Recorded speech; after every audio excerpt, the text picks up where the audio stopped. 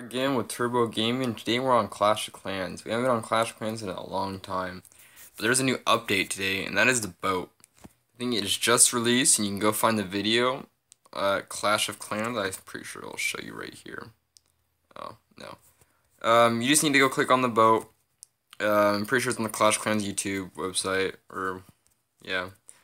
You know, you literally just click on the boat.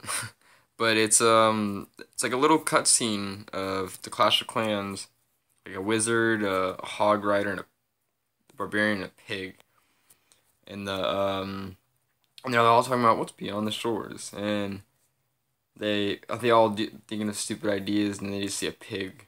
It's like, you know, it's just like what I don't know.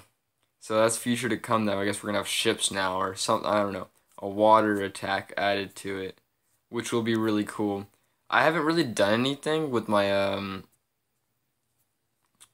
my Clash Clans in a while, and uh, it's really just because I've been playing Game of War, which is also very fun. I, I love Game of War, but uh, I thought it was of those post the Clash Clans video today because uh, there hasn't been a really uh, big super update. There was the uh, Ice Wizards, and um, the new like uh, players and shit, or what are they called? my language, but uh, you know, miners and bowlers and all these guys. That's uh, that's just it's really cool that they're gonna add um, I, th- I believe it's gonna be a new attack. I think I don't know.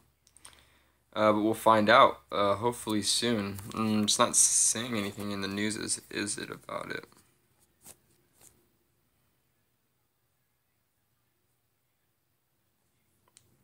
Yeah, there's not really too much information on it that I can see. It's just there. But I just want you guys to know, go check it out, watch the video, it's pretty funny. Have a good one.